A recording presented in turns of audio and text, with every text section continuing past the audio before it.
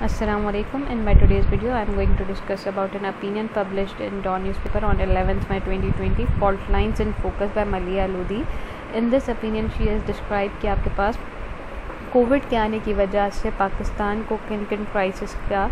या किस किस्म के मुश्किल दरपेश मसले हमें पेश आ रहे हैं जिसमें उन्होंने चार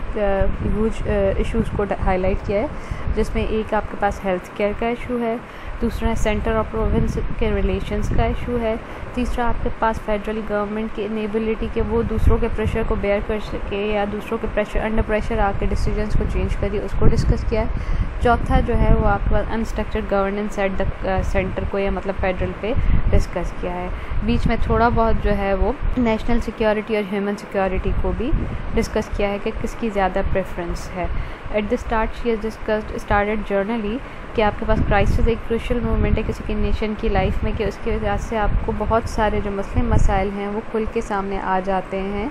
और उसके बाद ये जो अभी कोविड की वजह से कामटी हुई है तो उसमें भी पॉलिटिकल इकोनॉमिकल और सोशल इश्यूज़ या वीकनेसेस बहुत सारे कंट्रीज़ की वाजे हुई हैं, जिनमें जो है वो fatal gap in health medical care भी है। फेटल मीन्स कि आपके पास जो कि डिज़ास्टर की तरफ़ लेके जा सके या डेडली या ट्रेजिक गैप कहते हैं या यॉनिंग गैप बहुत बड़ा गैप ये कोविड के चैलेंज ने स्ट्रेच कर दिए गवर्नमेंट की कैपेसिटी मतलब स्ट्रेच मींस कि उसको पूरे तरीके से फुली उसको यूटिलाइज करना या उसको बर्डनाइज कर देना। और उसकी वजह से अनप्रेसिडेंट डिमांड ये है हेल्थ केयर सिस्टम पे। अनप्रेसिडेंट मीन पहले कभी भी इससे ज़्यादा ऐसी कोई इतनी हाई डिमांड नहीं हुई। Because due to the COVID आपके पास हेल्थ केयर सिस्टम्स हमारे जो नॉर्मली चल रहे थे, इसमें बताया कि ऑल दो वो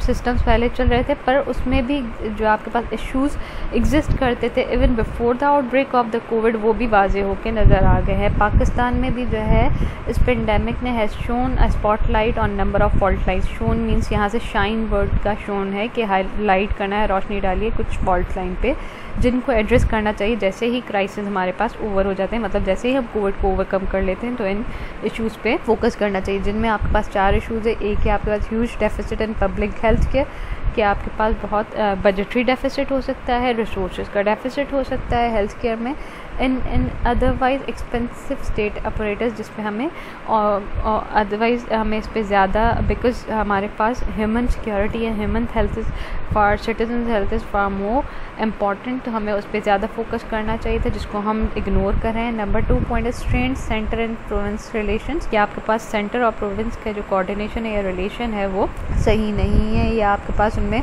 हमेशा टसल रहती है। Federal government inability to withstand the pressure from the few clergy member on the COVID-19 response कि आपके पास फेडरल गवर्नमेंट अंडर प्रेशर आ जाती है कुछ क्लर्जीज के रिक्वेस्ट uh, पे कि जैसे हमारे पास डिस्प्यूट हो रहा है मसाजिद खोली जाए ना खोली जाए कॉन्ग्रीगेशनल प्रेयर्स अलाउ की जाए ना की जाए उसकी वजह से कि गवर्नमेंट जो है एस भी दे रही है तो उसमें आपके पास इन्फ्लुएंस होके कि फेडरल क्लर्जीज जो है वो डिक्टेट कर रहे हैं या उनको इंस्ट्रक्ट करें तो वैसे ही करें अप, अपना कोई stand alone decision and unstructured governance at the centre ये चार इशूज़ को हाईलाइट किया गया है। Each have consequential for handling the health emergency के हर किसी का हाँ, ये जो चार फॉल्ट लाइन्स हैं इनके अल्टीमेट जो है वो रिपोकशंस आपके पास मतलब इनका इम्पेक्ट आपके पास होगा हेल्थ एमरजेंसी मीन्स ये कोविड की सिचुएशन को हैंडल करने में. And but all have long been characterise by the country political landscape के ये सारे जो हैं उन पर इम्पेक्ट है कंट्री के पॉलिटिकल लैंडस्केप का मतलब पॉलिटिकली इन्फ्लुएंस है पॉलिटिकली अफेक्टेड है. सबसे पहले जो सबसे first fault line is the consequences of lack of attention shown by successive government to the social sector कि सबसे पहले जो है आपके पास जो इन्होंने डिस्कस किया है, उसमें इन्होंने सोशल सेक्टर का को जिसको सबसे ज़्यादा कम अटेंशन दी गई है जो कि आपके पास इनएडिक्वेट हेल्थ केयर सिस्टम को हाईलाइट किया कि मोस्ट ऑफ़ लीडर्स जो हैं वो लिप सर्विस कहते हैं कि हम सोशल सोशल सेक्टर्स में स्पेंडिंग करेंगे इसको प्रायोरिटाइज़ करेंगे हेल्थ को प्रायोरिटाइज़ करेंगे। लिप सर्विस मीन्स के सिर्फ़ बोलने की बातें अमल ना करना। पर हमेशा जो है वो कभी भी आ, इस चीज़ पे अमल नहीं किया जाता हेल्थ केयर को कभी भी इतना ज़्यादा प्रायोरिटी नहीं दी जाती। जैसे कि इसमें बताया गया है कि बजट आप, इसका सोल्यूशन क्या है कि आप budget need to be keep pace with the continual rise in the country population कि आपके पास आपका health care system should the budget for the health care system should increase proportionately कि जितनी आपकी पॉपुलेशन बढ़ रही है तो आप हेल्थ केयर सिस्टम को भी उतना ही बजट अलोकेट करो ताकि वो उनको सबको कैटर कर सकें हेल्थ केयर में। अब जैसे जैसे कोविड की एमरजेंसी आ गई है तो health care is not capable कि हमारे पास इतनी ज़्यादा फैसिलिटीज़ नहीं है कि अगर हमारे पास आउटब्रेक स्प्रेड हो जाता है या हमारे पास कोविड कब स्केलेट होता है तो हम इस चीज़ को ओवरकम कर सकते फिर इन्होंने फर्दर कहा है कि human security the security of the people लोगों की सिक्योरिटी को डिस्कस किया गया है, जो कि अक्सर और बेशतर पावर पॉइंट प्रेजेंटेशन ये जो सब देते हैं, उसमें डिस्कस करते हैं, पर उसको कभी ऑपरेशनलाइज नहीं किया जब पॉलिसीज़ बनाई जाती हैं रिसोर्स एलोकेट किए जाते हैं मतलब सिर्फ़ प्रेजेंटेशन तक या बातों बातों तक इसको रखा जाता है, पर कभी भी इस पर वर्कआउट नहीं किया गया। Nor ever efforts even made to strike a balance between human and state security अब यहाँ पर इन्होंने ह्यूमन सिक्योरिटी और स्टेट पैरेलली डिस्कस किया है कि किसको ज़्यादा तवज्जो दी जा रही है और किसको इग्नोर किया जा रहा है।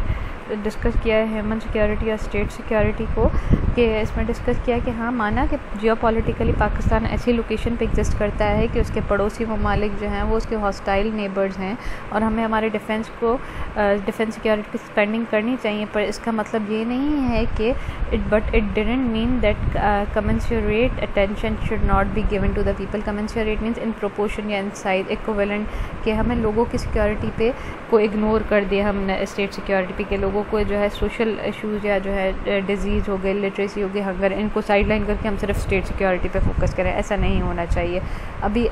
सोशल सेक्टर्स के हिसाब से कहा गया एजुकेशन को देख लिया जाए तो प्राइवेट सेक्टर ही जो है वो यॉर्निंग गैप को फिल कर रहा यॉर्निंग गैप मीन्स बड़ा सा यॉन मीन्स मुँह खोलना जैसे सकते हैं। बड़े से गैप जो आपके पास स्टेट ने छोड़ा हुआ है, उसको फिल प्राइवेट सेक्टर ही कर रहे हैं। टू लेसर एक्सटेंड ये जो है हेल्थ सेक्टर सेक्टर में भी इसी को विटनेस किया जा रहा है कि प्राइवेट मेडिकल फैसिलिटीज़ अवेलेबल हैं। पर दोनों केसेस में इधर प्राइवेट एजुकेशन या प्राइवेट हेल्थ फैसिलिटीज़ दोनों में ये privilege section of the society ही है जो इन दोनों चीज़ों को अवेल करा है where is rest of the population इस चीज़ से एक्सक्लूड की गई है। मतलब वो प्राइवेट हॉस्पिटल्स और प्राइवेट एजुकेशन को अवेल नहीं कर रही या अफोर्ड नहीं कर पाती इनको अवेल करना। फर्दर शी इज़ मैंशन कि जैसे ही हमारे पास कोरोना वायरस डिज़ास्टर स्ट्रक हुआ मतलब शुरू हुआ तो हमारे पास हमारा हेल्थ केयर सिस्टम जो था facility medical health care public health care system was found wanting wanting means कि ये एडिक्वेट या लैक करता था अपनी स्पेसिफिकेशंस में या इसकी परफॉर्मेंस इनएडिक्वेट थी या अच्छी नहीं थी। और फिर जो सब्सिक्वेंट एफर्ट्स किए गए कि इस कमिटी को डील किया जा सके, वो डॉक्टर्स की तरफ़ से और मेडिकल स्टाफ की तरफ़ से बहुत अच्छा हेरोइक बिहेवियर और उनका वर्क एंड डेडिकेशन था और नेशनल डिज़ास्टर मैनेजमेंट अथॉरिटी ने एक्टिवली इफ़ेक्टिवली वर्क किया critical areas of medical equipment और लॉजिस्टिक्स के को मंगवाने में और प्रोवाइड करने में। पर यहाँ पे उन्होंने कहा कि बट माना कि अभी आपने बहुत अच्छा काम किया, पर क्राइसिस मैनेजमेंट और फिर लॉन्ग टर्म के लिए सब्सटेंशियल हमेशा एग्जिस्टिंग परमानेंट जो आपके पास बेसिक हेल्थ केयर फैसिलिटीज़ जो आपको सिटीज़न को प्रोवाइड करनी है, वो दोनों अलग अलग चीज़ें हैं कि आप क्राइसिस मैनेजमेंट में अलग में डील करते हो और जो आपको long term long term facilities जो प्रोवाइड करनी है, उनके लिए आपको अलग वे में डील करना आता है कि कंट्री जैसे ही ओवरकम कर लें क्राइसिस को तो फिर इनको कंट्री को चाहिए कि अपनी प्रायोरिटीज़ को रीऑर्गेनाइज करे और फिर जो है रीऑर्डर करे और हेल्थ केयर सिस्टम को या सोशल सेक्टर को priority they as compare to the other sector to which they are giving priority at this stage right now फिर जो सेकंड मैटर डिस्कस किया गया है सेकंड फॉल्ट लाइन आगे डिस्कस की गई है फॉर मीन्स टू सिचुएटेड और प्लेस इन द फ्रंट जिसको डिस्कस किया गया है, वो है lack of smooth working relation between the centre and Saint government Saint government और सेंटर के सेंटर प्रोविंशियल रिलेशन थोड़े ख़राब हैं तो उनको डिस्कस किया गया है डिस्पाइट कि आपके पास फेडरल गवर्नमेंट की के स्पोक पर्सन के प्रोटेस्टेशन के बाद कुछ कहा गया कि ये ये कहते हैं कि जो हमारे पास सेंटर और प्रोविंस के रिलेशन है, अगर वो ख़राब होते हैं तो उससे इम्पैक्ट किया जाता है या थॉट करता है implementation of national response to the COVID कि आपके पास जो कोविड के लिए आप नेशनल रिस्पॉन्स है यूनिफॉर्म पॉलिसी डिसाइन की जाती है कि मिटिगेट वायरस के स्प्रेड को मिटिगेट किया जाए या उसे कंटेन किया जाए तो वो उसको सेंटर प्रोविंस के रिलेशन अगर ख़राब है तो वो उसको थॉट करता है कि यूनिफॉर्म पॉलिसी दोनों प्रोविंस और सेंटर में इम्प्लीमेंट नहीं की जा सकती। एटीथ अमेंडमेंट को इसका रिस्पॉन्सिबल कहा जा रहा है। Due to the eighteen amendment centre और प्रोविंस अच्छे रिलेशंस नहीं हैं। पर ये क्या है, ये मिसलीडिंग है। ये एक तरीका है फेडरल का कि वो अटेंशन डाइवर्ट कर रही है या हटा रही है इस इशू से कि सेंटर जो है वो कोऑर्डिनेट अपनी पॉलिसीज़ को कोऑर्डिनेट नहीं कर पा रही with the Sindh province because it's under the control of other political party opposition political party otherwise बाकी रेस्ट ऑफ़ द प्रोविंस जैसे पंजाब और के पी के हैं, उनके साथ उनमें जो है, वही गवर्नमेंट है जो कि फेडरल में एग्जिस्ट करती है। तो वहाँ पे सेंटर प्रोविंशियल कोऑर्डिनेशन के इशू नहीं आ रहे। पर सिंध के साथ आ रहे बिकॉज़ सिंध जो है, वहाँ पे रूलिंग पीपीपी की है वेस्ट फेडरल में पीटीआई है। तो दोनों के बीच में टसल्स कंटिन्यू है तो इसकी अलावा से यूनिफॉर्म पॉलिसी सेंट्रल और फेडरल नहीं लेके चल। और फिर कहा गया है कि सेंटर और प्रोविंशियल हारमनी जो है वो पाकिस्तान की हिस्ट्री में भी वैसे भी कभी नहीं देखी जबकि ड्राइवल पार्टीज़ जो फेडरल और प्रोविंशियल गवर्नमेंट्स में होती हैं, कि पहले भी कभी होता था कि आपके पास हिस्ट्री में ऐसे, कि अगर आपके पास प्रोविंस में एक पार्टी और फेडरल में दूसरी है तो उनका भी हमेशा टसल रहता था, कभी भी एक साथ इकट्ठे नहीं चलते थे। चीज़ें हैं तीनों इशूज़ के वीक पॉलिटिकल विल है फेडरल गवर्नमेंट के फेडरल सिस्टम चले इंटर प्रोविंशियल टेंशन हैं और फिर आपके पास अपोजिशन के लिए टॉलरेंस नहीं है फेडरल में तो वो सारे फॉल्ट ओवरलैप करें। मतलब ये तीनों फैक्टर्स जो हैं फॉल्ट लाइंस को और ज़्यादा स्ट्रेंथन कर रहे हैं। वो build the evolution of Pakistan democracy कि होबुल्ड मींस कि उसने रोक दिया है या रिस्ट्रिक्ट कर दिया डेवलपमेंट पाकिस्तान की डेमोक्रेसी की जो कि बनाई गई थी या जो कि सर्व करना चाहती है सिटीजन्स को rather than being preoccupied by political rivalries and power struggles कि हमारे पास डेमोक्रेसी को फ्लरिश नहीं करने दिया जा रहा बिकॉज़ के पास इश्यूज़ क्या थे? फेडरल गवर्नमेंट की विल नहीं थी प्रोविंसेस में हारमनी नहीं है और फिर जो टॉलरेंस है लैक ऑफ़ टॉलरेंस है टूवर्ड्स अपोजिशन तो ये सारे फॉल्ट लाइंस जो हमने ऊपर चार डिस्कस की उनको स्ट्रेंथन करते जा रहे हैं। तो उसके बाद हो क्या रहा है कि आपके पास डेमोक्रेटिक डेमोक्रेसी हमारे पास फ्लरिश नहीं कर पा रही, जो कि डेमोक्रेसी जो कि सर्व करना चाहती है सिटीजन्स को, वो पॉलिटिकल राइवलरीज और पावर स्ट्रगल की नज़र हो गई है। फर्दर शेयर डिस्कस के ये जो ट्रबल्ड सेंटर और प्रोविंस के रिलेशन है उसकी वजह से डिलीटेरियस कंसिक्वेंसेज हो रहे हैं हार्मफुल कंसिक्वेंसेज या डेट्रीमेंटल कंसिक्वेंसेज हो रहे हैं कंट्री की यूनिटी पे जैसे कि पास्ट में भी हुए थे कि आपके पास को हम रिकॉल नहीं करना चाहते जैसे 1971 में हमसे ईस्ट और वेस्ट पाकिस्तान बन गए। तो उसमें बताया गया है फेडरलिज्म जो है उसमें आपके पास रेसिप्रोकल ऑब्लिकेशन होती है जो मतलब दोनों एंड्स पे सेंटर और सेंटर एंड प्रोविंस दोनों को एक दूसरे के uh, के साथ प्रॉपर वे में चलना चाहिए, ना कि इट्स नॉट जस्ट अबाउट कि सिर्फ़ जिसको कॉन्स्टिट्यूशनली लिखा गया और उसकी इज़्ज़त की जाए। और फिर जो अनफोल्डिंग क्राइसिस मतलब जो अभी कोविड के क्राइसिस जो कि बार बार अनफोल्ड होते जा रहे हैं मतलब कि खुलते हुए जा रहे हैं या ज़्यादा होते हुए जा रहे हैं सेंटर और सिंध प्रोविंस के झगड़े में, हुआ क्या है इस क्राइसिस में कि आपके पास नंबर ऑफ़ इशूज़ या ऑफ़ द या number of cases of the virus has been exceeded या एस्केलेट कर गए हैं, जो कि प्रिवेंट किए जा सकते थे। अब जैसे लोग कुछ लोग समझते हैं कि we should in the sense के they should follow the policies of the federal तो वो उनके अकॉर्डिंग चलते जा रहे हैं और फिर यहाँ पे सिंध गवर्नमेंट उनके अगेंस्ट एक्शन लेती जा रही है because they both are having a tussle between the policies they are not having proper coordination among the policies तो उसकी वजह से अल्टीमेटली क्या हो रहा है कि हमारे पास यूनिटी नहीं है तो प्राइसेस हमारे पास बढ़ते हुए जा रहे हैं इशूज़ हमारे बढ़ते हुए जा रहे हैं। उस थर्ड फॉल्ट टाइम में डिस्कस किया गया है कि फेडरल गवर्नमेंट जो है वो uh, उन पर प्रेशर किया प्रेशर है क्लैरिक्स का कि रमज़ान की कॉन्ग्रिग्रेशन प्रेयर्स को मसाजिद में करने दिया जाए या ना किया जाए। अब जैसे कि अभी बहुत सारे मुस्लिम ममालिक में मसाजिद को बंद किया गया है कि लोगों की ज़िंदगी को बचाया जा सके कोविड के स्प्रेड को कंटेन किया जा सके। पर यहाँ पर कुछ क्लैरिक मैं क्लर्जी मैंस को बुलाना प्रेजिडेंसी पे कि उनके साथ डिस्कस करना इश्यूज़ को और फिर जो है वो उनकी जो उन्होंने रिक्वेस्ट की उसको एक्सेप्ट करना, उनकी डिमांड्स को, ये बताता है कि आपके पास लैक लैक ऑफ़ विल है कि आप अपने ही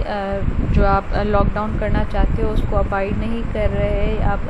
और फिर ये आप इंश्योर करना चाहते that they to abide by the lockdown impose on everyone else के पहले आप खुद अलाउ कर रहे हो कि आप मसाजिदों में नमाज़ की पढ़ी जाए और फिर देखते हो कि ये लॉकडाउन को जो इम्पोज किया गया उसको अबाइड करेंगे उसको फुलफ़िल करें। एंट्रीटीज़ मीन्स कि मिन्नत और समाजत या रिक्वेस्ट जो डॉक्टर्स ने मेडिकल स्टाफ ने मेडिकल कम्युनिटी ने रिक्वेस्ट की अपील की कि आप अभी लॉकडाउन को एक्सटेंड करो, मसाजिद में कॉन्ग्रीगेशन प्रेयर्स को ना करने दिया जा सके because medical health care system जो है वो कंट्री का इतना स्ट्रॉन्ग नहीं है, इतना इक्विप या फैसिलिटेटेड नहीं है कि वो अगर कोविड स्प्रेड राइज होता है तो उसको हैंडल कर सके, पर उनकी रिक्वेस्ट को इग्नोर किया इस्लामाबाद ने मतलब फेडरल ने फेडरल गवर्नमेंट अब जो है ना ट्रेडेड मीन्स चलना, उस रास्ते पे चल पे चल गई है ट्रेडेड अ वेल